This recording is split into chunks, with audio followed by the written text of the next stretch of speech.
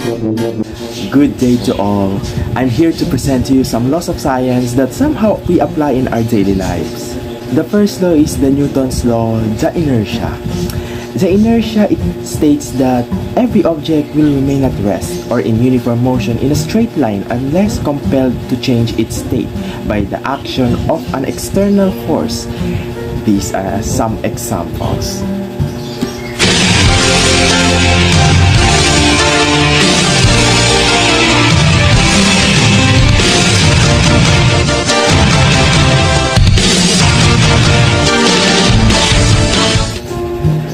The second law is another Newton's law, the action and reaction.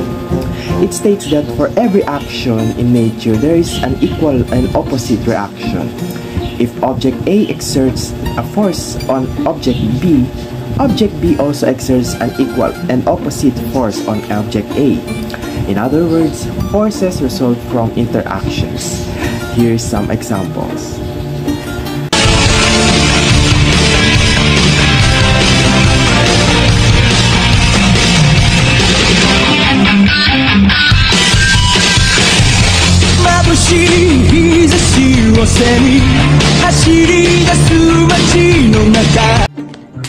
Law of acceleration. Acceleration of an object determines by the, the mass, the object, and the amount of force applied.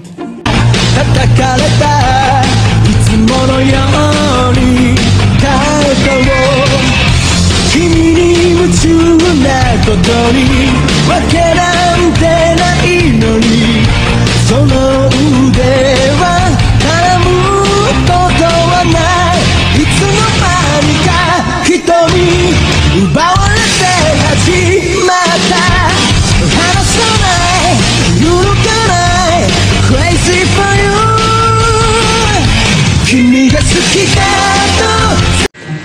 Law of friction. The quantity of friction is related to the normal force exerted between the surfaces.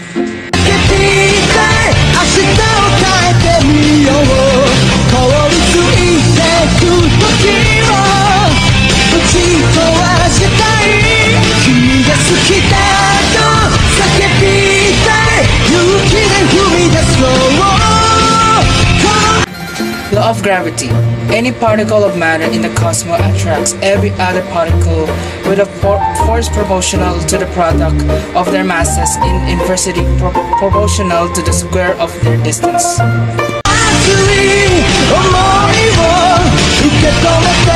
ざ